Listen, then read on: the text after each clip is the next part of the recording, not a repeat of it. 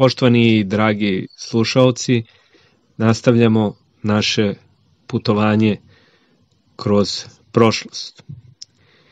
Jedan od nesumnjivo najbitnijih i najprelomnijih datuma u 20. srpskoj istoriji, odnosno u 20. veku, jeste 27. mart 1941. godine. Sa nama je večeras gospodin Michael Blagoje Radenković. Čovek koji danas živi u Sjedinjenim američkim državama i za, s druge strane okeana, ali koji se vrlo živo seća predratnog Beograda, Beograda za vreme drugog svetskog rata i posle rata. Večeras sa nama on će podeliti svoja sećanja na ovaj sudbonosan dan u našoj istoriji. Poštovani gospodine Radenkoviću, dobroveče i hvala vam što sa nama delite vaša sećanja na ovaj važan datum iz srpske istorije. Dobroveče. 27. mart je osvanuo kao veoma sunčan i prijatan dan. Ništa se tako rano ujutro nije nasločivalo šta će da se desi tog dana. Međutim, nije prošlo ni ne znam koliko vremena, već je bio napravljen državni udar.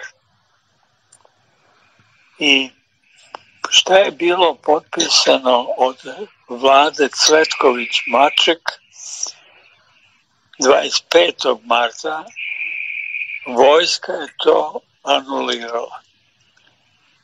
Kad je to narod čuo, a to je bilo objavljeno preko radio Beograda,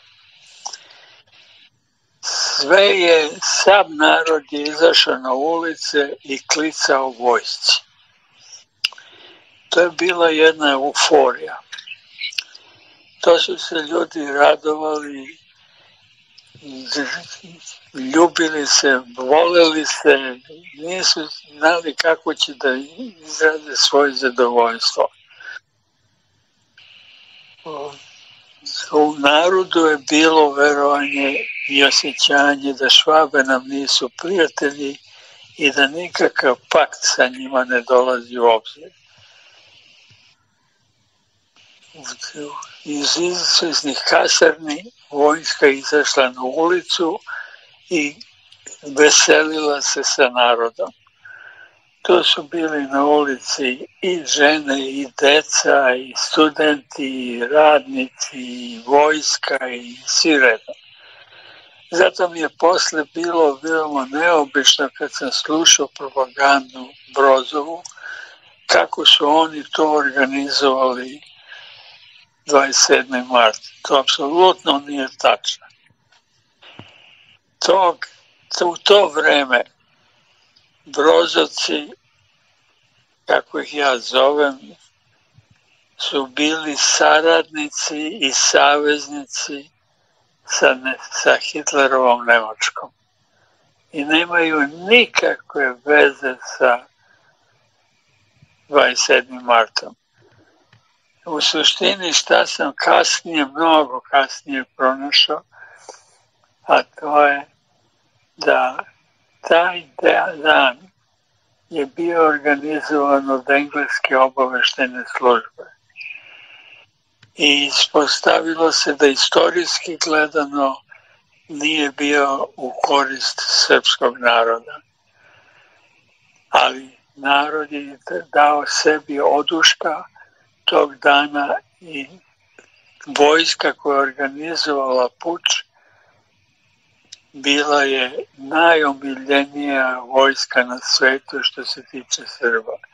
Da bi posle bili izdati od tih svih Engleza i predati Brozu i njegovim trabantima. Uvijek, uvijek će mi ostati u sećanju kad sam video na ulicama vojsku sa srpsku vojsku što treba da dodam jer Hrvati i ostali to se nikada nisu ni mešali, niti su oni pripadali toj državi i oni koji su izdali. Eto.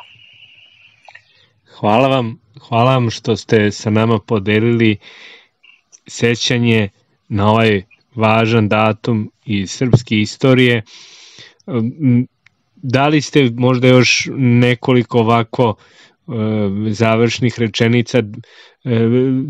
Vi ste tog dana išli isto tako u školu, da, kako je to izgledalo u Navračaru, u, u Trnskoj ulici, da li su bili tenkovi na ulicama, pominje se ona parola bolje rat nego pakt, bolje rob nego grob.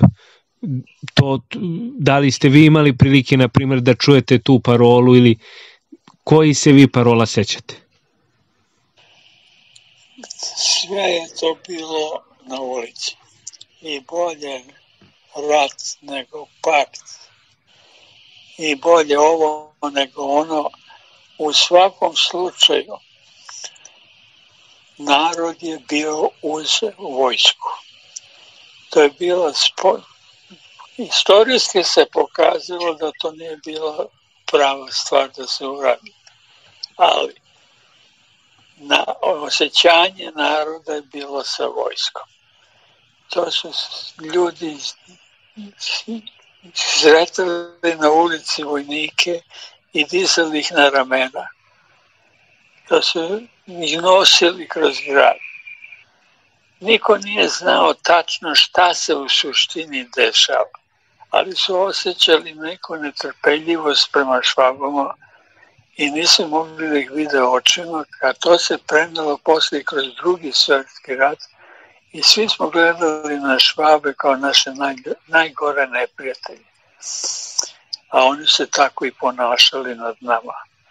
Nije slučajno što su oni izmislili posle da nas kažnjavaju sa sto ubijenih Srba za jednog ubijenog švabu.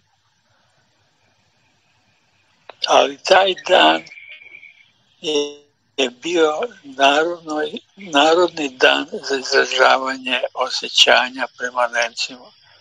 Tako kada neko danas kaže u, u mahom u propagandne svrhe da srpski da, se, da je vojska zakazala i što znam, to nije tačno. Vojska nije zakazala, nego su Hrvati izdali. A Slovenci su kao i po običaju sedeli sa strane. Jedini koji su zadržavali svoje osjećanja, to su bili Srbi.